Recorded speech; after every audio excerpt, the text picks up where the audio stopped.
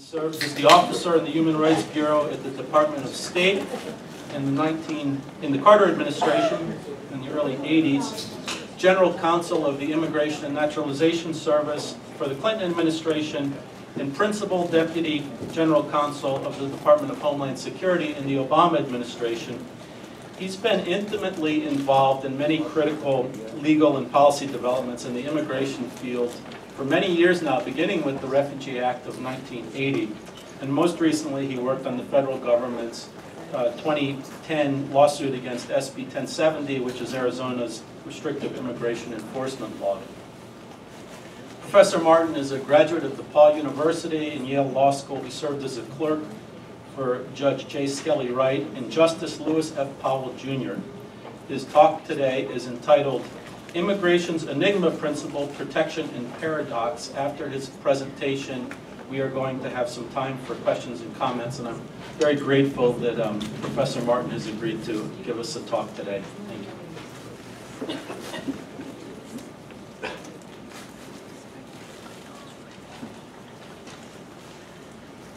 Thank you very much, Don. It's really a great pleasure for me to be back here at uh, another event hosted by the Center for Migration Studies. I can remember going back many, many years, conferences in Washington uh, that led to publications in the volumes called In Defense of the Alien.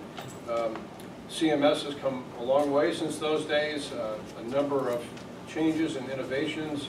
Uh, I know you're in very good hands with Don Kerwin here now. I've worked with Don on previous projects and, and watched him uh, as he's done some very good things in a host of organizations uh, over the years.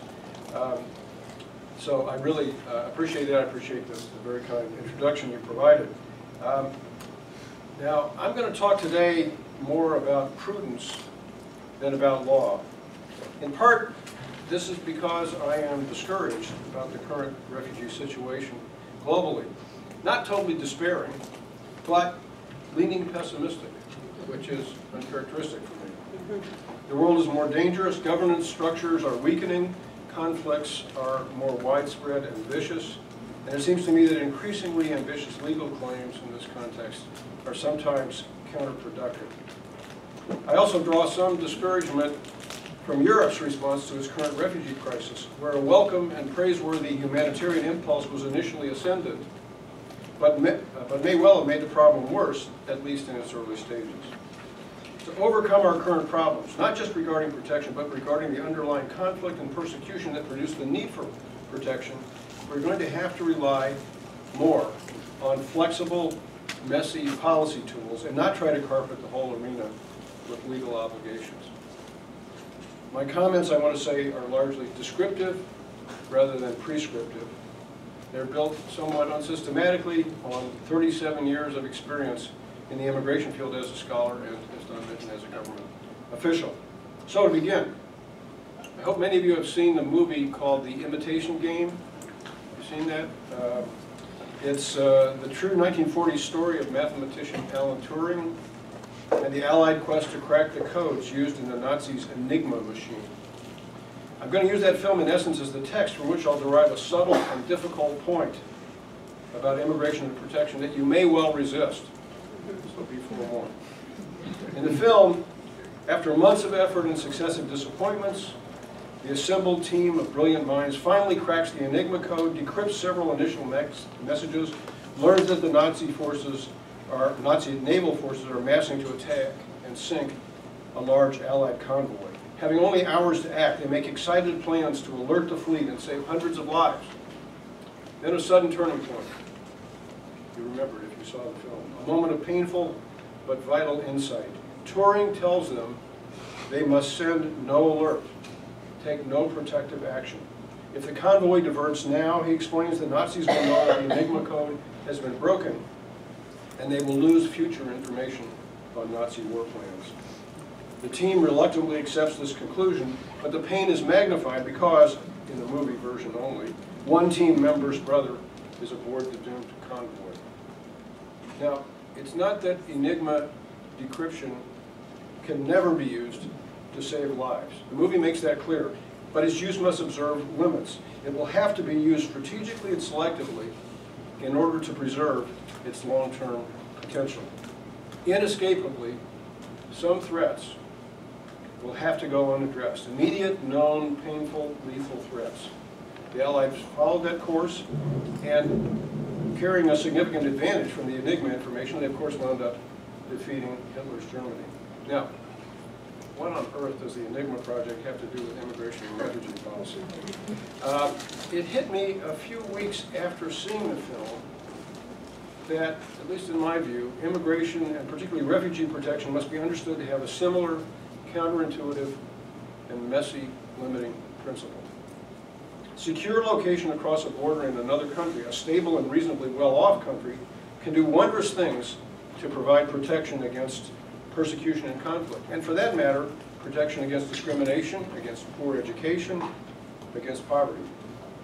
But it cannot provide such protection or enhancement for all who might seem to have a just claim. This limit has nothing to do, of course, with spilling secrets. It's a product of realism about the strains that migration, especially high-volume migration or sudden influxes, can bring to a society. About the capacities of receiving states, and most importantly, about preservation of the political space that we need in order to minimize backlash and keep a healthy level of relocational opportunity alive. It's a matter of finding or restoring a viable equilibrium in order to sustain the needed societal commitment to protection over the long run.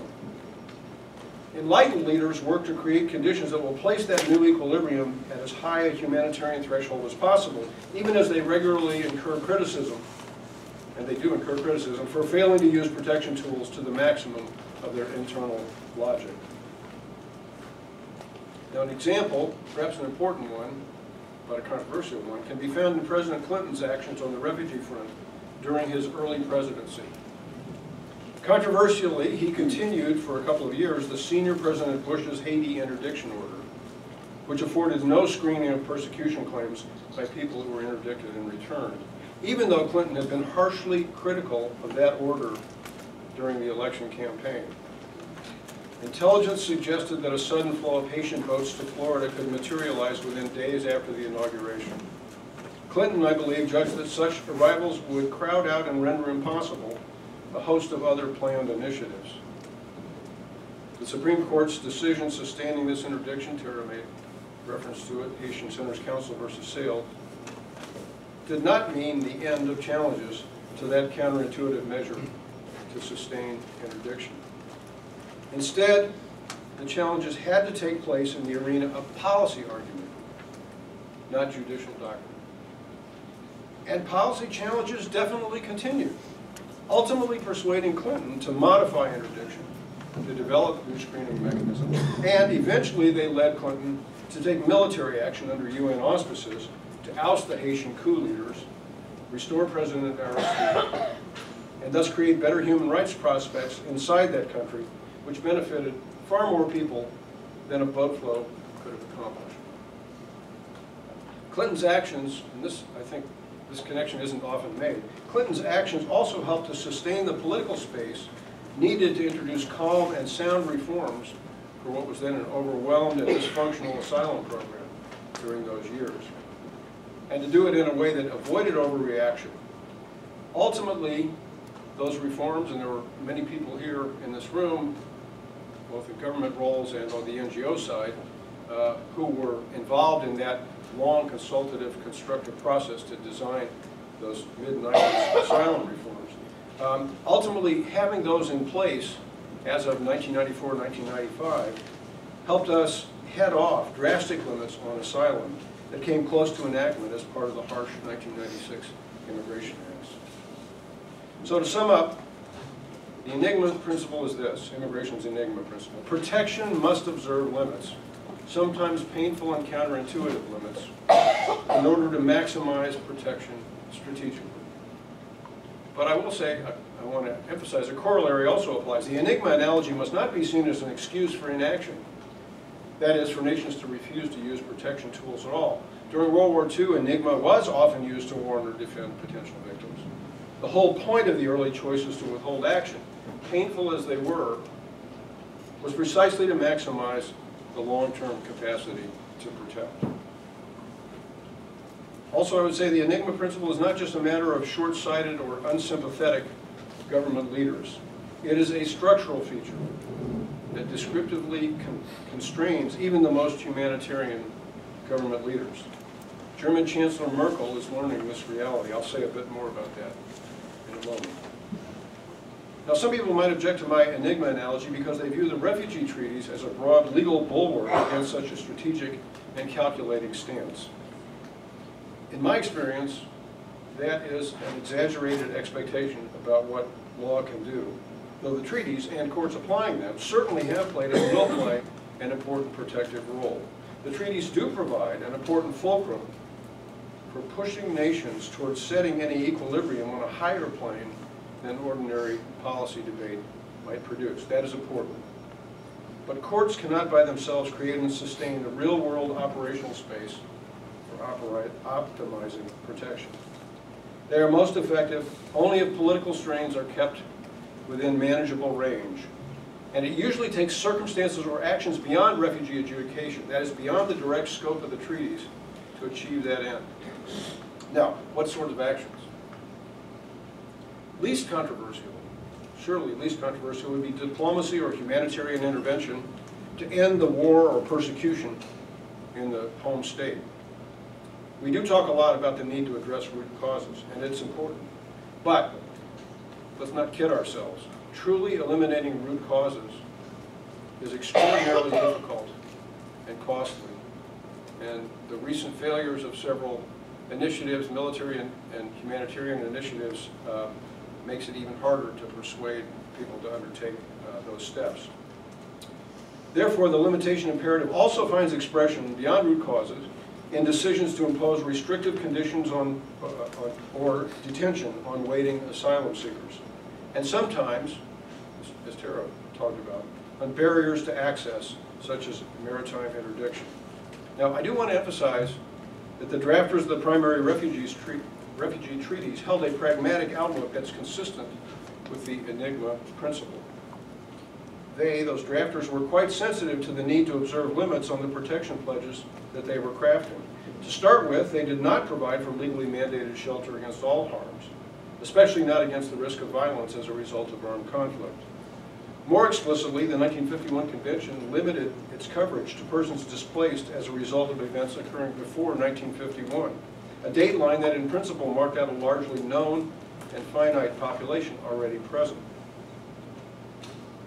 More importantly, and less obviously, the 1951 Convention, although it has important guarantees against returning refugees already present, is pointedly silent about legal obligations governing access to national territory. You heard former Deputy High Commissioner Aleinikoff speak about that as well. The convention and the protocol don't talk about access. And some very leading humanitarian figures, scholars who were involved in that original drafting effort, like Paul Weis, um, wrote articles saying, no, it does not include any kind of a principle about non-rejection at the frontier. The drafters sent clear signals that they wanted to keep their protection commitments in balance with the traditional sovereign right to make deliberate decisions about inbound migration. Numerous statements by government representatives and even international organization leaders at the conference emphasized that they were not writing, and I quote, a blank check. The drafters set forth rules about treatment of people already present and deliberately did not provide a right of access. They acknowledged, they did very much acknowledge, though, that this was an uncomfortable position. They acknowledged that it would be best to do more than the treaty would require in a lot of respects, including access for an acceptance of new asylum seekers whenever possible. But they left this more in recommendations appended to the treaty and meant to inform ongoing policy decisions, not to set inflexible legal mandates. Now, I acknowledge that critics of the legal bulwark persuasion may feel that they have an unanswerable reputation these days. Whatever the initial intentions the treaty framers many decades ago, some courts, particularly in Europe, have deployed what's sometimes called dynamic treaty interpretation to issue rulings greatly restricting government authority to use interdiction or other deterrent measures. For example, the 2012 ruling of the European Court of Human Rights to which Tara made reference, Hirsi Jamal versus Italy, imposes severe limitations on any maritime interdiction. And I do think those courts did want to impose a more absolute understanding of the logic of protection and consequently squeeze out a lot of government discretion along the lines that I have mentioned somewhat favorably.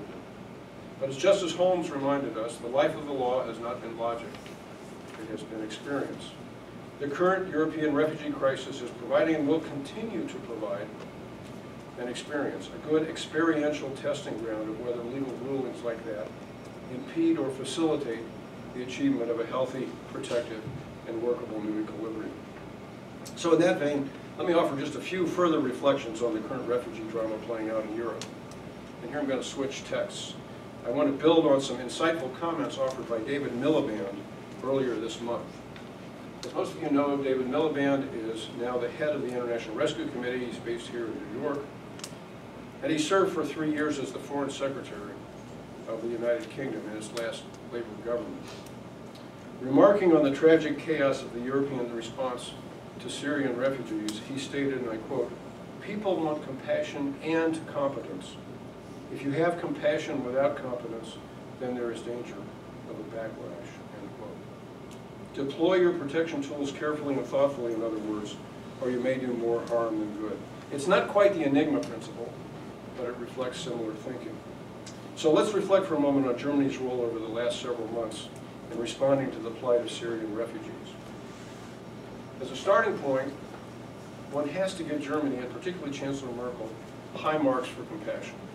It was a genuine surprise to me, at least, when she staked out her resolutely compassionate humanitarian stance in August. She indicated that Germany would accept very large numbers of Syrian refugees and would not impose the usual Dublin Convention rules that treat asylum seekers as the responsibility of the European state where they entered Europe rather than the state where they really want to arrive. Whatever, European, whatever Europe eventually does to overcome its current disorganized crisis, the result will hold much more for the welfare of Syrian refugees than if Merkel had not taken that position.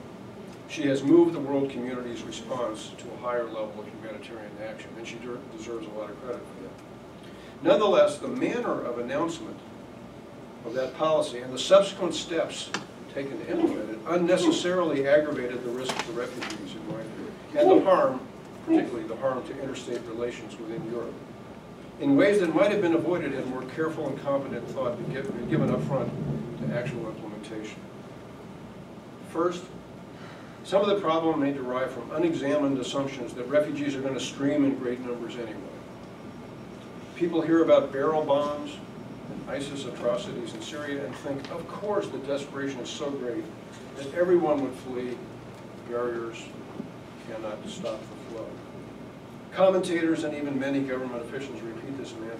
But we need to look far more closely at this well-intentioned misunderstanding about refugees.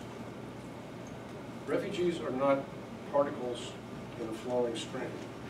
As was emphasized by somebody over here in the first session this morning, they are people uprooted from normal, competent lives by extraordinary events.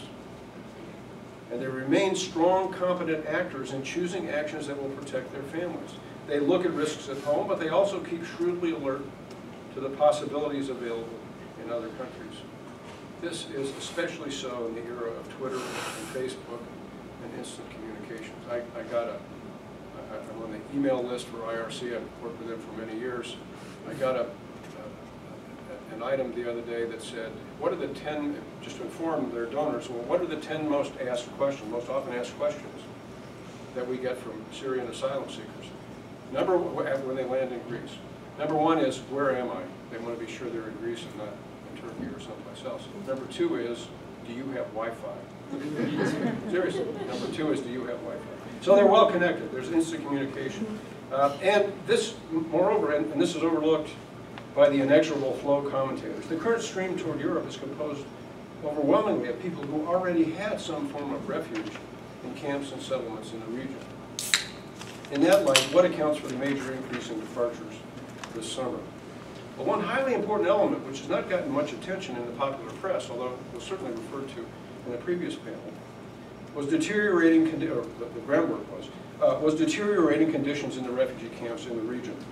In early 2015, the world community seemed to have lost interest in the welfare of the people housed there. UNHCR appeals for absolutely necessary funding, as was described, were falling woefully short. In June, the world was meeting only 35% of the UNHCR budget needed for Syrian refugees in the region. In response, the UN was forced to make drastic cuts in food rations and basic health care facilities. An anguished high commissioner was quoted in The Guardian, calling the situation, quote, beyond irreparable.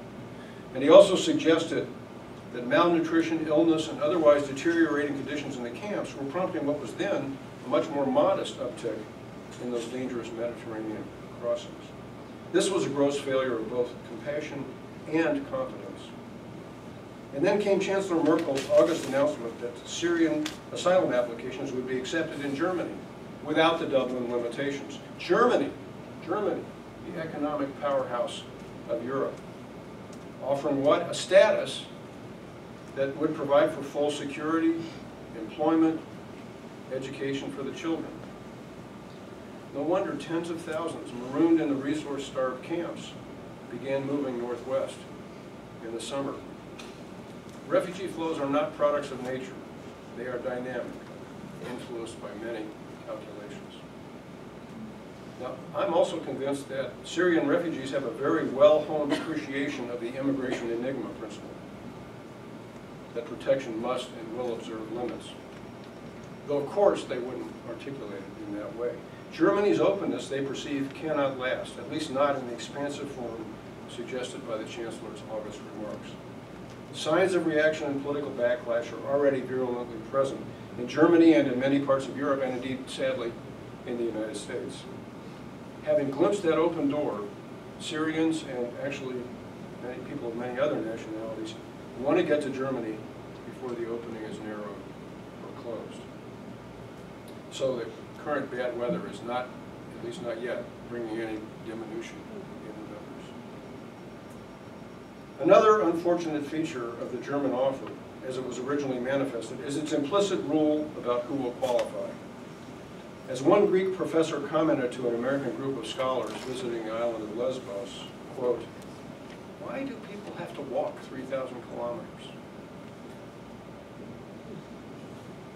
If that self-help requirement crudely was Germany's default method for limiting the intake, we can say many things about how it scores under the competence criteria. First, it's not working very well to keep the numbers down, that was its intent. Second, it's both capricious as a selection principle and potentially quite cruel, even lethal.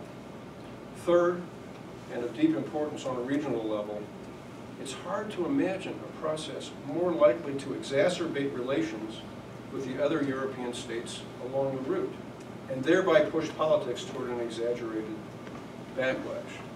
We're going to take a lot of people, they want to come to our country, you've got to deal with them for several weeks while they make their way in vast numbers along the way. One must not absolve those other states, particularly Hungary, of blame for harsh and inhumane responses.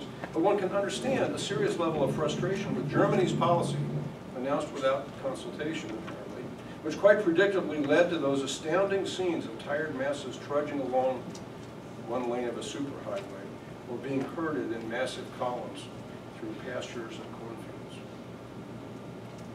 Germany's approach reflects a sharp difference in the instinctive ways in which Americans and Europeans initially think about responding to refugees. Europeans, for historical reasons that are understandable, tend to focus on a reactive asylum model, adjudicating claims by people who arrive on their own power. American refugee policies have many shortcomings, but once activated to address a refugee crisis, we do tend to think rather quickly of a wider array of proactive policy tools for response. Historically, of course, this means a major focus on organized resettlement programs, flying people from the region of origin after a selection process. Right now, a far too cumbersome uh, and lengthy selection process, but uh, I know that USCIS and DHS are very much in the process of taking significant steps to try to find ways to reorganize and revise those processing mechanisms. In any event, we typically don't make people walk across a continent. We're now seeing the beginnings of policy changes in Europe that build on some of these lessons from the last few months, and at least partial fulfillment of the Enigma principle, or in Miliband's terms, as a way of infusing more competence into the compassion. First, and really important, the neglect of funding for the camps in the Middle East region is being remedied, at least in significant part. The EU and other donor, donors are stepping up to meet UNHCR funding needs more closely. Perhaps this will reduce the pressures to leave the region. There's also apparent movement by European powers in the United States to take more vigorous military action to address the root threats inside Syria. That too is welcome, but we certainly cannot expect any early success and may see additional setbacks as part of that process. Moreover, a Brussels summit meeting last weekend reported steps to set up new reception centers in various places along the main routes in Europe, especially in Greece and the key Balkan states. This policy change may someday bring Europe to something more like an orderly departure program, or ODP, the Vietnam era analogy, which some of you will recall vividly. Departures would start not within Syria, but from camps in Turkey, Lebanon, or Jordan, or elsewhere along the transit route, where refuge seekers would be interviewed, adjudicated, and if accepted, assigned to a receiving country in the EU, at least according to preliminary reports. Indeed, uh, the, uh, uh, I'm sorry, that, that's, yeah. Indeed, the whole situation might have unfolded with less confusion and trauma if Germany had channeled its compassionate impulses from the beginning into an ODP-like program. A viable ODP, however, and I think that, that may be the direction in which we're headed. A viable ODP, however, would have to be bolstered with some systematic action to slow or block other migration routes outside the ODP channels. The Brussels report obliquely acknowledges this much. I suspect that planning did not turn in that direction at first because it's not clear how much room is left for such steps after European court rulings like Hirsi-Jamal.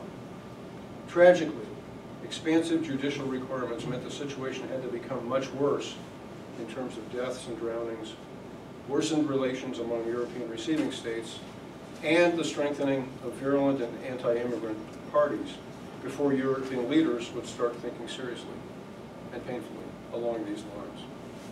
Now, I want to be completely clear. I do not favor, I do not favor access barriers or harsh reception conditions.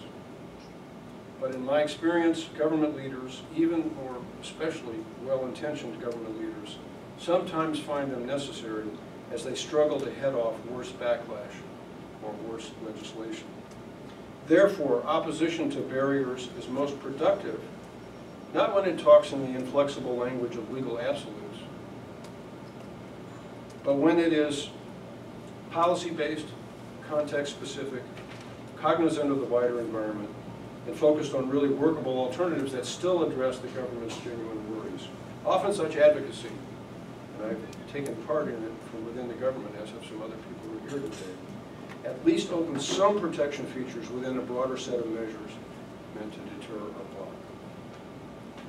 Now, to finish, we will see whether the troubling political reactions building in Europe over the last few months causes some tempering of judicial logic and brings greater realism about the need to observe carefully implemented limits while still holding true, holding true to the core protections of refugee law. As Reinhold Niebuhr reminded us in his major work titled The Irony of American History, quote, there is no purely moral solution for the ultimate moral issues of life.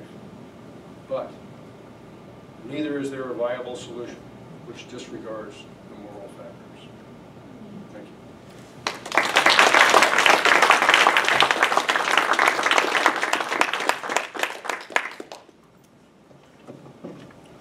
Stay up, you wanna sit up? Um, Stay right here. so- I'm a professor. So, um, I guess I'll take my prerogative and ask a question to start with, and then we could, we could go to the, to the audience. We have a couple minutes, right? Five, ten minutes? Not, not much, okay. So, I had the occasion recently to reread one of David's um, articles from 25 years ago that was published in the International Migration Review, and it asked, it asked the question, why did human rights, legal instruments, hard, hard legal instruments, soft legal instruments, declarations of all kinds, why did they expand after World War II? And the conclusion was, it was one of the, very interesting article, a very valuable article. In fact, we built our, one one of our pieces around it in our, in our special collection. And the, and the conclusion was is because states uh, had no interest or intention of abiding by any of them. you know? I mean, it, it's basically, and I think that there, I think that there's some truth to that. And NGOs at some point started to take that language and hold it against politically their, their states, and that's how kind of human rights protections and systems started to be developed around the world. I, I take it that the Enigma um, principles lesson is similar to that in a way, which is that you have to, you have to win, you can't expect um, um, expansions of the law indefinitely. And in fact, there's, there's really nothing worse than people or, or states that agree to um, conventions and make pronouncements and have absolutely zero intention of abiding by them. And you kind of have to win the political, diplomatic, policy arguments to, and kind of do that very hard work to create safe space for people. That's, so I, I feel like the Enigma principle is kind of building on that. Um, I guess I feel like uh, a little bit more sympathetic with Angela Merkel, though, I must say, that um, I don't, I don't see that she's violated the Enigma principle in the sense that she, I don't think she was pushing for big changes in the law. I think that she was probably extraordinarily frustrated with the lack of any progress among EU member states and was doing what leaders try to do, which is to, um, which is to make statements that would change public opinion, create kind of a new, you know, a new, a new reality, a new political kind of reality on the ground, which I think she did.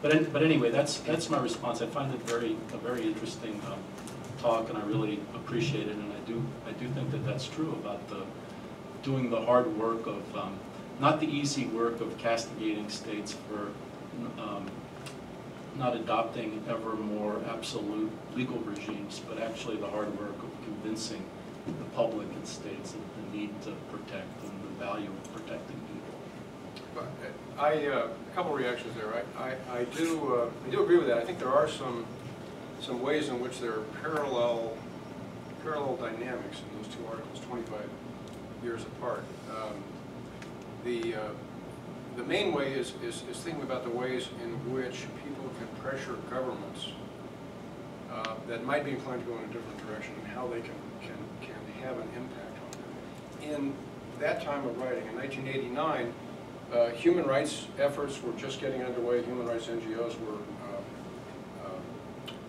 there was a, a- a much, uh, a much less rich field than what we see today. And um, as I looked at trying to prepare that for the 25th anniversary issue of IMR, um, I, I was asked, well, well, what can we do to, to, to bring practice more in line with the doctrine? And it occurred to me, well, there's two ways of doing that. You can change the doctrine and mirror practice, or you can try to push it the other way. Obviously, um, the people who asked me, who asked that question, wanted it to be that it would change and come closer to, to the law. Well, why, if the practice was that far apart, and much farther apart in those days than today, why did we have these kinds of uh, strong provisions in the law? And a lot of it, I concluded, was because many states, not all states, but many states really thought they were going through empty exercises agreeing to the Universal Declaration of Human Rights, even taking part in and initially signing some of the human rights treaties. They just didn't think there would be, and, and, but most importantly with declarations and soft law instruments, didn't think it would ever have any real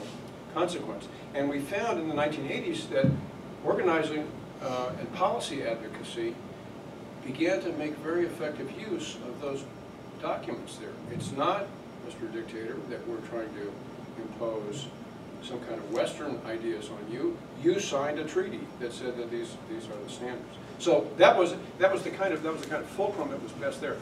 We've come a really long way in the last 25 years. Legal regimes have proliferated, the, uh, the case law, the decisions, um, quite extensive. Um, But I, but to me now, it's at a point where that kind of advocacy is no longer quite so apt or so needed, or it's certainly not novel. You're not surprising governments now that they're going to be held accountable to that. So what's needed is more of the kind of thing that, that recognizes some of these are hard problems that involve, involve trade-offs, and we want to couch our advocacy in those terms instead of just denouncing you as someone who's not living up to what we're interpreting as a, an absolute legal obligation, even though maybe the framers of the treaty did not. Yes, Alex?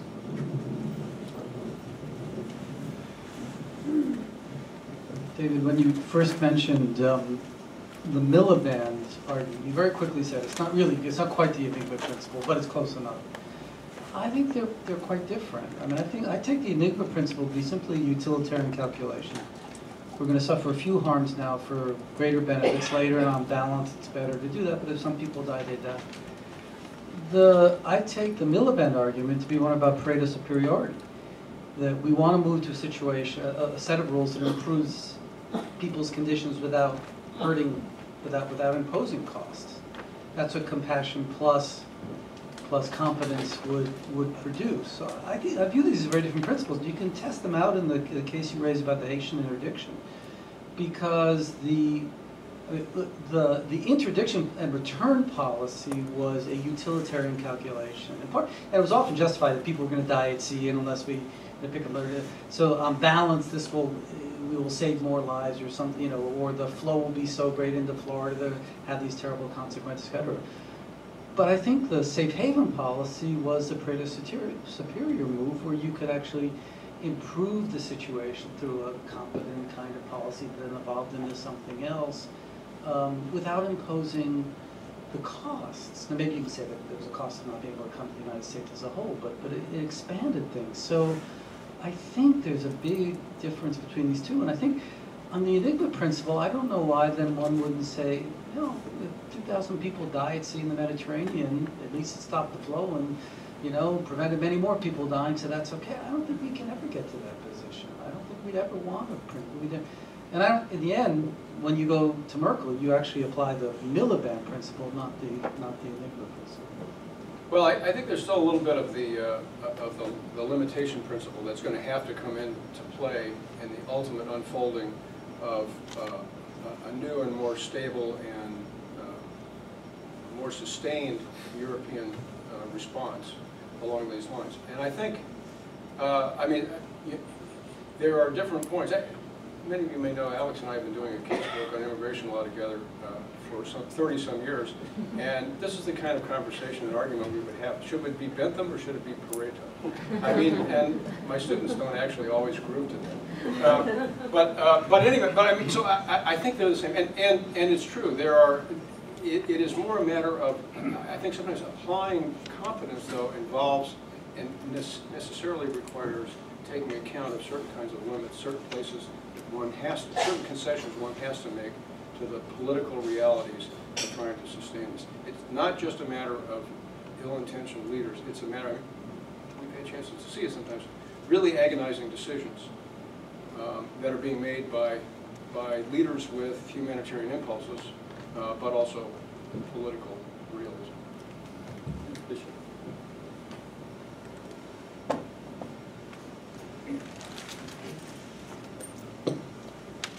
I don't think we can forget where Angela Merkel came from, East Germany. It may be something that is deep in her psyche and heart, recognizing the situation of the East Germans. Could be, who knows? I just want to also add to the uh, information you had about the relevant, uh, wonderful end of the 80s, where we passed TPS, Temporary Protected Status. It wouldn't have a snowball's chance in hell today.